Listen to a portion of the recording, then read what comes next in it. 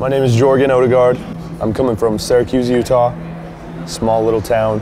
I entered in a collaboration competition with uh, Bro Safari, and uh, Splice flew me out here to open up Bro Safari's boat stage here at Mysteryland.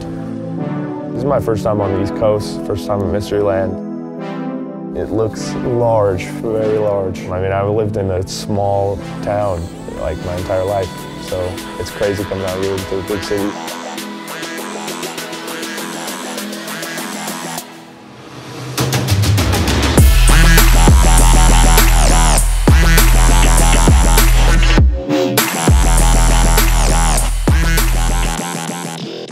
So the concept behind the contest was, you know, start a really bare bones idea, uh, upload the file to Splice, and then just make it public and just let people have at it. So I worked on the collaboration, uploading every version. Every time you save in Ableton, it, it saves to Splice. You save the, the project file, and then you can enter your comments of what you changed. So it's the most convenient way to collaborate. Sound design was on point, the mix was on point. He kept elements of the original idea. You know, he added leads, he added like a little vocal sample, made an intro, an outro. It was completely written out. The second he told me I, I won, he was like instantly like, yo, I want to work on this right away. Yeah. Like, are you in this? I like, can you add me to the project?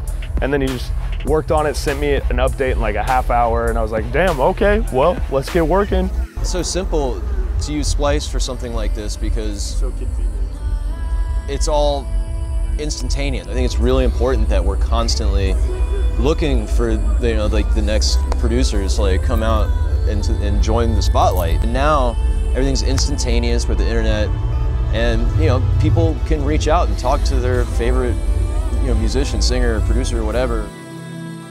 Seven days ago, I was just chilling in my basement, just thinking that things were gonna keep going the same way they were, you know what I mean? Just keep putting music out on my own, but it's amazing. You can just download the software, make music with it, you know what I mean? Enter in competitions like this, and then fly out to New York. and you know to be able to like you know hear his story from you know being plucked up out of Utah and just Yeah. flown to New York to play at Mysteryland you know it's amazing to me and I'm really stoked that I was able to be a part of it